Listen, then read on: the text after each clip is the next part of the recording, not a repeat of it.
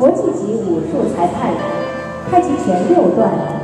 美国太极养生基金会的会长，美国国家传统武术代表队总教练，美国国家武术总会技术委员，美国王恩熙拳法研究会会长，斯坦福大学和 HP 医学院养生太极拳教练，加州太极武术中心院长。美国功夫直销网总裁，他也是河南师范学院兼职教授。